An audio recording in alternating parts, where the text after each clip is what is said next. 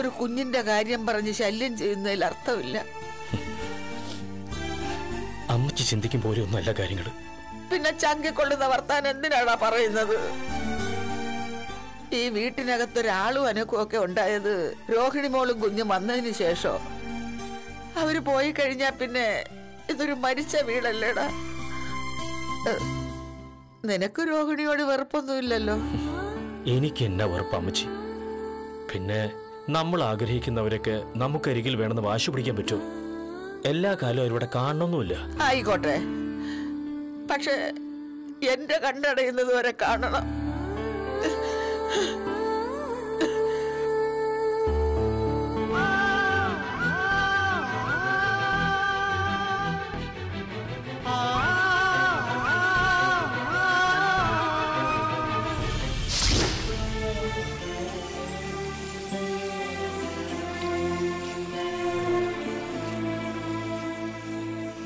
അവൻ എന്താ മോളെ അങ്ങനെ പറഞ്ഞ്? മോൾ ഇവിടുന്ന് പോവുകയാണെങ്കിൽ അമ്മച്ചിക്ക് സങ്കടാവുമെന്ന് അവൻ എന്നോട് ചോദിച്ചു. അത് പിന്നെ എനിക്ക് സങ്കടാവത്തില്ലയോ? അല്ല മോൾ ഇവിടുന്ന് പോകുമെന്നോ പറ്റും അവനോട് പറഞ്ഞോ? ഏയ് ഞാൻ അങ്ങനെ പറയോ? അല്ലെങ്കിൽ തന്നെ എനിക്കിപ്പോ അങ്ങനെ പോകേണ്ട കാര്യം എന്താ ആ അത് തന്നെ ഞാനും ആലോചിക്കുന്നത് മോക്ക് ഇവിടുന്ന് പോകേണ്ട കാര്യമൊന്നുമില്ല. എന്നാലും ജോസ് അങ്ങനെ സംസാരിച്ചപ്പം എന്താണെന്ന് അറിയില്ല. ഒരങ്കലാപ്പ്. എന്തെങ്കിലും ഉണ്ടെങ്കിൽ തുറന്നു പറയണേ മോളെ. ഒരു കുഞ്ഞിന്റെ കാര്യം പറഞ്ഞ് ഞാൻ ബുദ്ധിമുട്ടിപ്പിക്കുന്നുണ്ട്. അത് പിന്നെ ഏതൊരമ്മച്ചിമാരായാലും അങ്ങനെയൊക്കെ പറയത്തില്ലയോ? മോളും ലച്ചുമോളും വന്നതിന് ശേഷം ഈ വീടിനൊരു ജീവൻ വെച്ചത്. അങ്ങനെയുള്ളപ്പോ നിങ്ങൾ പോയാൽ അതോടെ തീരില്ലേ എല്ലാം? അങ്ങനെ ഒന്നും ചിന്തിക്കല്ലേ മോളെ? അമ്മച്ചി എന്നോട് പോകാൻ പറഞ്ഞാലും ഞാൻ പോവില്ല.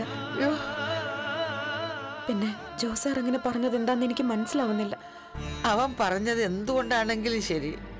മോക്കറിയാലോ ഈ വലിയ വീട്ടിൽ ഇങ്ങനെ ഒറ്റയ്ക്കിരിക്കുമ്പോ അമ്മച്ചിയെ വിഷമിപ്പിച്ചോണ്ടിരിക്കുന്നത് എന്റെ ജോൺ മോനെ കുറിച്ചുള്ള ഓർമ്മകളാ. അത് മനസ്സിനകത്തോട്ട് വന്നു കഴിഞ്ഞാ പിന്നെ ആകെ ഒരാളല്ല നെഞ്ചിനകത്ത്. നിന്നൊക്കെ ഇച്ചിരി മിണി മാറ്റം വന്നത് നിങ്ങളൊക്കെ വീട്ടിനകത്ത് വന്നതിന് ശേഷം. അതുകൊണ്ട് ഞങ്ങളുടെ ഭാഗത്തു നിന്ന് എന്തെങ്കിലും തെറ്റ് പറ്റിയിട്ടുണ്ടെങ്കിൽ അതൊക്കെ അങ്ങ് ക്ഷമിച്ച് മോളെന്റെ മരുമോളായിട്ട് തന്നെ ഇവിടെ കഴിയണം. അമ്മച്ചീനി എന്നോട് ഇങ്ങനൊന്നും പറയല്ലേ? ഇങ്ങനൊക്കെ പറയുന്നതും കേൾക്കുന്നതും തന്നെ സങ്കടമാ. അതിലും സങ്കടമായി പോയി മോളെ. അവൻ പെട്ടെന്ന് അങ്ങനെയൊക്കെ ചോദിച്ചപ്പോ അമ്മച്ചി പറയേണ്ടതൊക്കെ മോളോട് പറഞ്ഞിട്ടുള്ളു. അത് നിങ്ങളുടെ കുടുംബജീവിതം നന്നായിട്ട് പോകാനുള്ള കാര്യങ്ങൾ. സാറിനോട് ഇതേപ്പറ്റി ഒന്ന് ചോദിക്കണമല്ലോ. അവൻ അങ്ങനെ പറഞ്ഞതിൽ അത്ഭുതമൊന്നുമില്ല മോളെ. അവന്റെ ഉള്ളിൽ എന്തൊക്കെയോ കടന്നുകൂടിയിട്ടുണ്ട്. മോൾ കൈവിട്ടു പോകുമോ എന്നുള്ള ഭയം ശരിക്കും ഉണ്ട് അവന് അമ്മച്ചിയും ജോസാറും ഒക്കെ എന്നെ ഒട്ടും മനസ്സിലാക്കിയിട്ടില്ല. ഇതിൽ നിന്നൊക്കെ മനസ്സിലാവുന്നത് അതാ. സാർ എന്തിനാ ഇങ്ങനെ ഭയക്കുന്നത്? ആരെയാ ഭയക്കുന്നത്? നരനോട് പോലും അത്ര സുഖത്തോടെ അല്ല പെരുമാറുന്നത്. എല്ലാം എന്നോടുള്ള ദേഷ്യമാണെന്നറിയാം. ഞാനൊരിക്കലും നന്ദി കിട്ട പെണ്ണാവില്ല.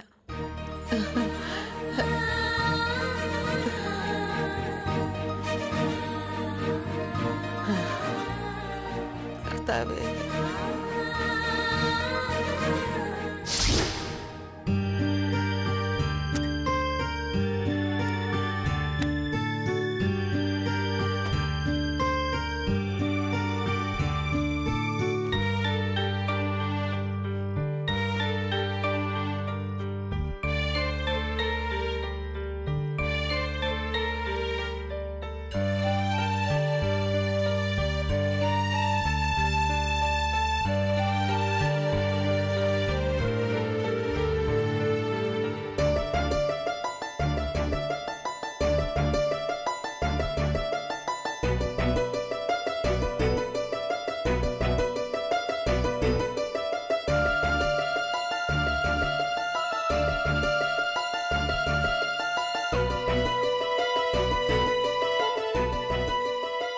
അങ്ങനെയൊക്കെ പറഞ്ഞ അമ്മച്ചിയെ വേദനിപ്പിക്കുന്നത് എന്തിനാ സാറേ?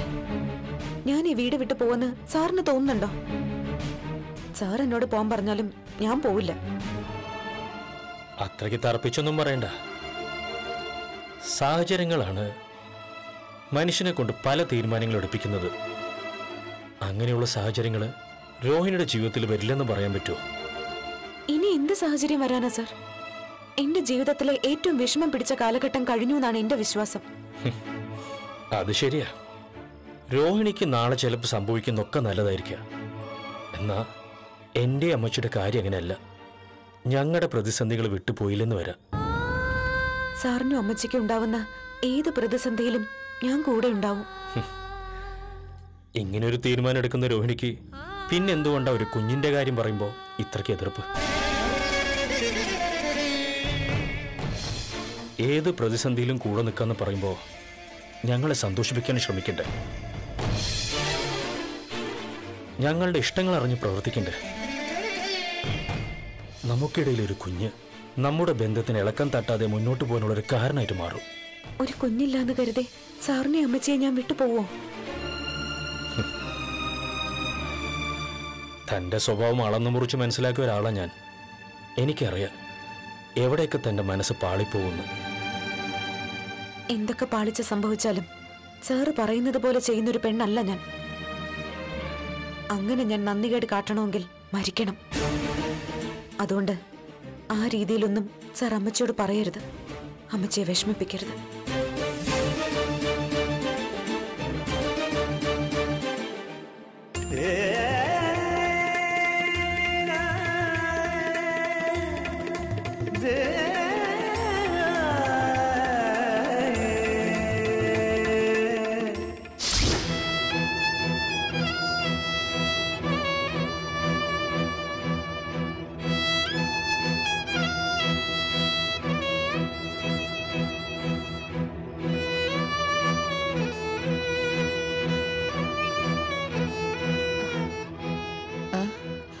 അമ്മച്ചി വിഷമിക്കണ്ട.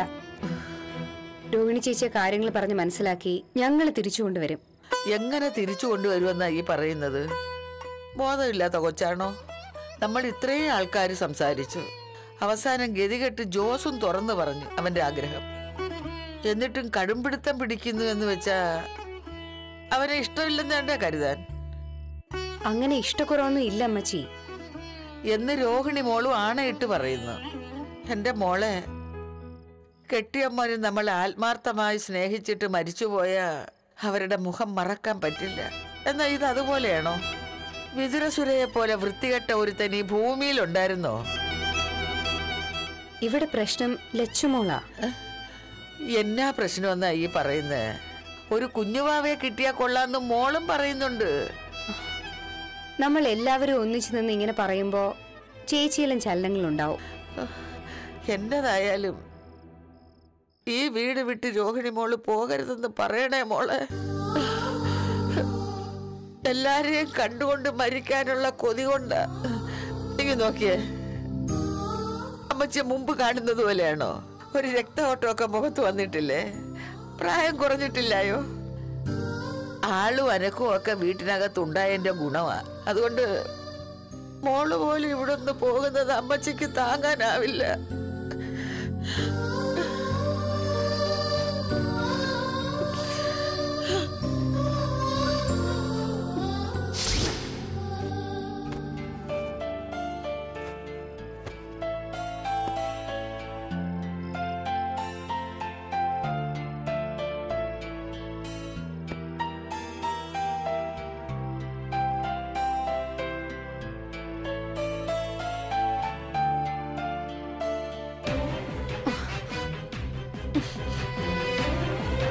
എനിക്കിനി ഇവിടെ പിടിച്ചു നിൽക്കാൻ പറ്റത്തില്ല. ഇവിടെ ഉള്ളവരുടെ സങ്കടം കണ്ടോ? അതുകൊണ്ട് നാളെ രാവിലെ തന്നെ നമുക്ക് തിരിച്ചു പോവാം.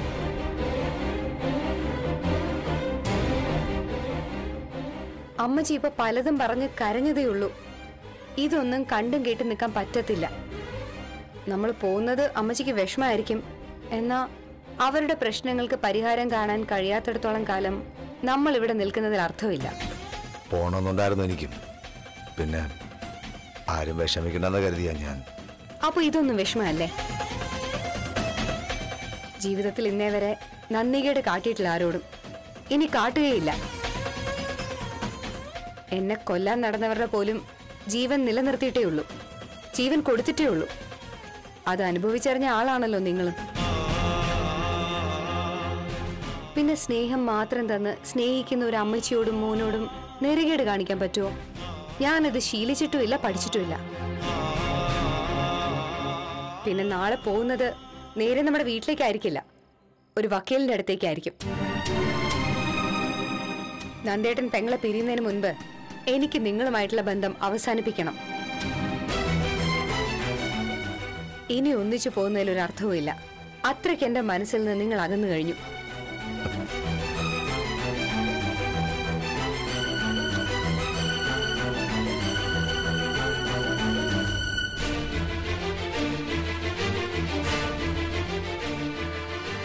ഇനിയും നിങ്ങൾക്ക് സമയമുണ്ട്. സത്യം പറയാൻ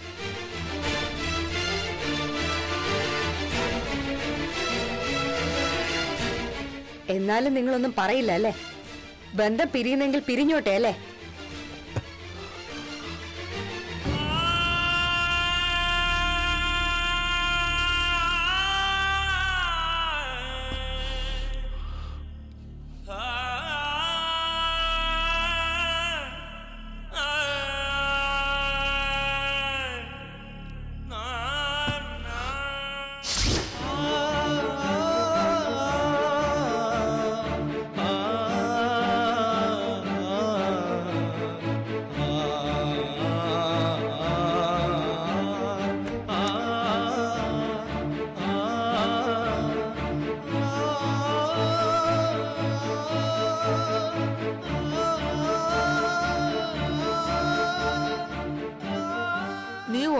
ഉറങ്ങിയില്ലേ മോനെ?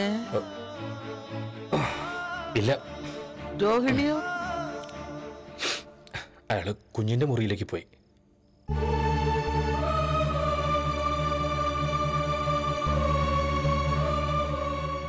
ഇതിപ്പോ കാര്യങ്ങൾ പറഞ്ഞ് മനസ്സിലാക്കേണ്ട പ്രായമല്ലല്ലോ ലച്ചുമോളുടേത്. പിന്നെ പറയേണ്ടത് രോഹിണി മോളോടാ. മനസ്സിലാകുന്ന ഭാഷയിലൊക്കെ പറയുകയും ചെയ്തു. ഇനി കൂടുതൽ പറഞ്ഞ ആ കൊച്ചു വീട് വിട്ടങ്ങ് പോയാലോ?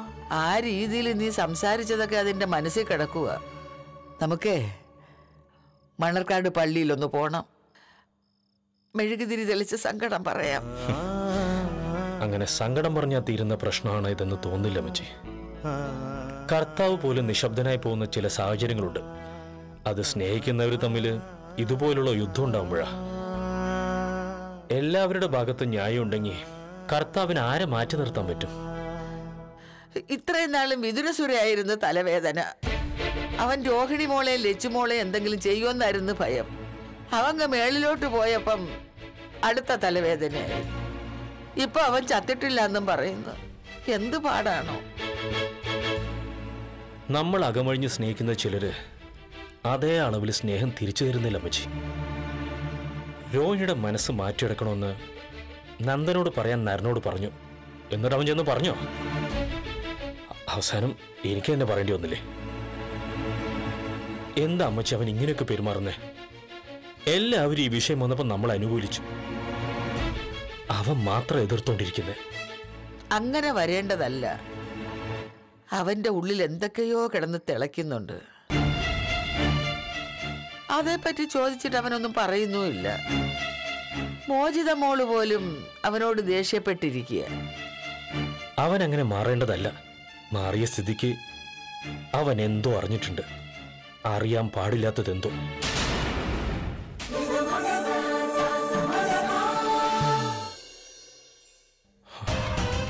അവൻ അതെന്താണെന്ന് എന്നോട് പറയുന്നുമില്ല. സങ്കടങ്ങളുണ്ടാവുമ്പോൾ കഴിഞ്ഞ കുറേ നാളുകളായി അതാദ്യം ഒന്ന് പറയുന്നത് എന്നോടായിരുന്നു. അത് എന്നോട് പറയുന്നില്ലെങ്കിൽ അതിനെ അതിന്റെതായ ഗൗരവത്തോടെ കാണണം. ഞാൻ വീണ്ടും പറയാ ആരും നമുക്കൊപ്പം അധിക നാൾ ഉണ്ടാവുമെന്ന് കരുതരുത്. അങ്ങനെ എങ്ങനെ കരുതാൻ പറ്റൂടാ? പറ്റത്തില്ല.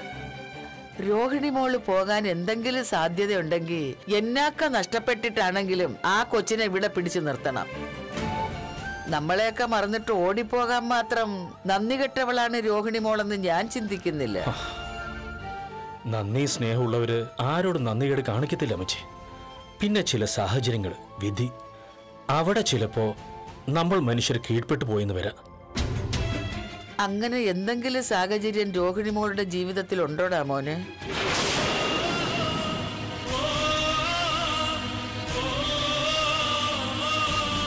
എന്നതൊക്കെ ഉണ്ട്. നീ പറയാത്തതാ. അല്ലെങ്കിൽ നീ ഇങ്ങനെ വിഷമിക്കത്തില്ലല്ലോ? ആ എല്ലാം ശരിയാകുമെന്ന് കരുതാം.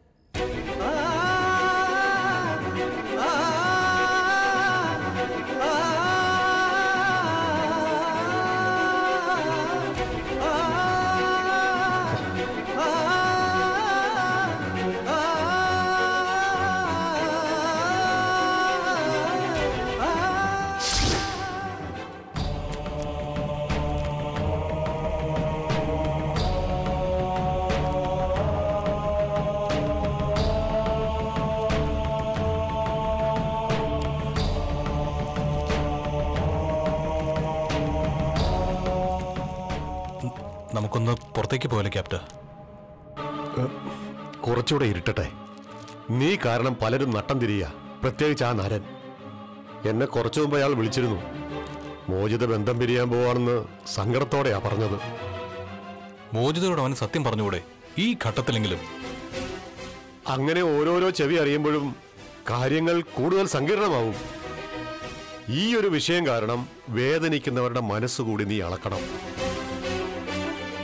അവരൊന്നും എന്നെ സഹായിക്കുകയല്ലോ ജോസ് ഒന്നും അറിയാൻ പാടില്ല. രോഹിണിയുടെ മുന്നിലേക്ക് ഞാൻ ചെല്ലാനും പാടില്ല. അതിനുവേണ്ടി എന്തൊക്കെയോ കാട്ടിക്കൂട്ടുന്നു. അതാണ് സത്യം. ഈ പറയുന്നവരാരെങ്കിലും ദുഷ്ട മനസ്സുള്ളവരായിരുന്നെങ്കിൽ നമുക്ക് രണ്ടും കെട്ട് പോകാമായിരുന്നു. പക്ഷേ ഇവിടെ അതല്ലല്ലോ സ്ഥിതി. ഒരുമിച്ചൊരു മുറിയിൽ കഴിയുമ്പോഴും നിന്റെ ഭാര്യയോട് മാന്യത കാട്ടിയവനാ ജോസ്. അത് നീ മറക്കരുത്. ഇപ്പോഴാ അയാൾ ഒരു കുഞ്ഞിനെ പറ്റി പോലും ചിന്തിക്കുന്നത്. അതും രോഹിണി കൈവിട്ടു പോകുമെന്നുള്ള ഭയം കൊണ്ടാ. അങ്ങനെയുള്ളവരെ നമ്മൾ ശിക്ഷിക്കാൻ പാടില്ല. എന്റെ അമ്മയുടെ കൈകൊണ്ടുണ്ടാക്കി ഭക്ഷണം കഴിക്കാൻ തോന്നുന്നു. അതിനും എനിക്ക് വിലക്കാണോ? വിലക്കൊന്നുമില്ല. അങ്ങോട്ടൊക്കെ പോകുന്നത് റിസ്ക്കാ. ഇനി റിസ്ക് ഇല്ലാതെ പോകാൻ പറ്റുന്ന ഒരു സ്ഥലമേ ഉള്ളൂ. അത് മോളിലോട്ടാ.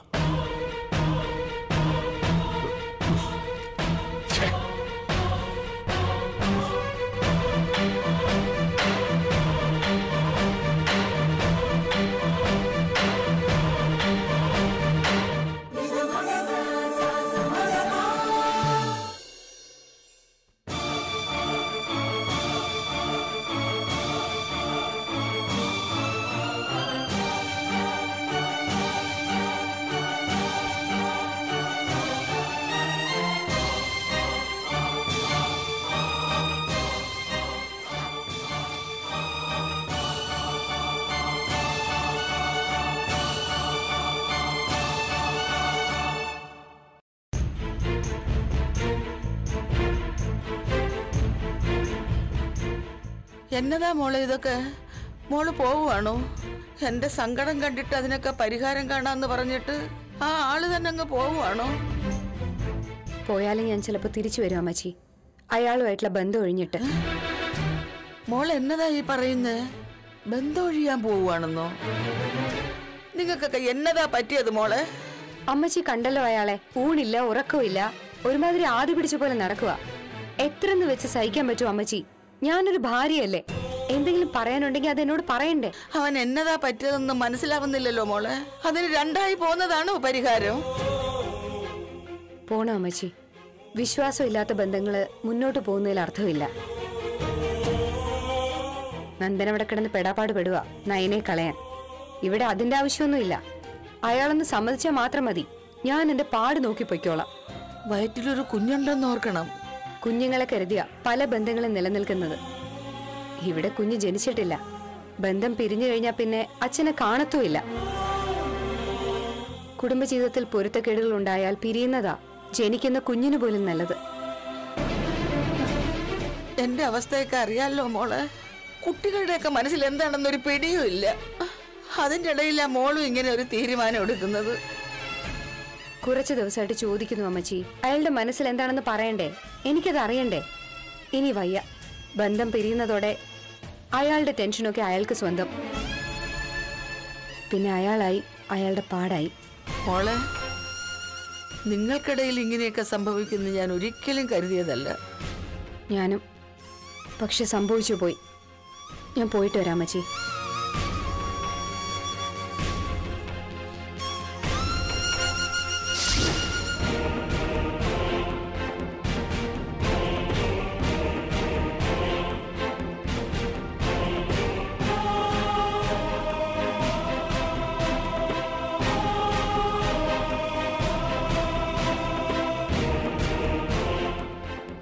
സാർ ഞാൻ ഇറങ്ങാണ്. ഞാൻ അവനോട് പോവാൻ പറഞ്ഞു. അതിനുള്ള കാരണം മോചിതയ്ക്ക് അറിയുകയും ചെയ്യാം. എന്നാ മോചിതയോട് ഒരിക്കലും പോവാൻ പറഞ്ഞിട്ടില്ല.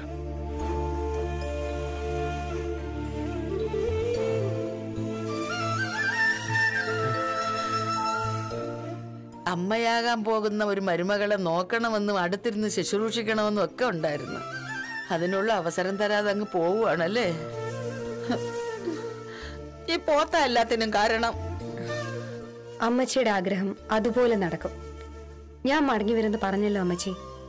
പിന്നെ ഇപ്പൊ പോകുന്നത് ഇയാളുടെ പെങ്ങൾ ബന്ധം പിരിയുന്നതിന് മുൻപ് ഇയാളുമായിട്ടുള്ള സകല ഇടപാടുകളും അവസാനിപ്പിക്കാനാ. എന്റെ അമ്മച്ചിയുടെയും വിഷമം കണ്ടിട്ട് മോചിത ഇങ്ങനെ ഒരു തീരുമാനം എടുക്കണമെന്ന് ഞാൻ ഒരിക്കലും പറയില്ല. അതുകൊണ്ട് മാത്രമല്ല സർ ഇയാൾ പറയേണ്ടതൊന്നും ആരോടും പറയുന്നില്ല. പരസ്പര വിശ്വാസമാണ് ദാമ്പത്യത്തിന്റെ അടിത്തറ. ഇവിടെ അത് സംഭവിക്കുന്നില്ല. ഇനി കൂടുതൽ വഷളാവുന്നതിന് മുൻപ് രണ്ടാൾക്കും രണ്ട് വഴി.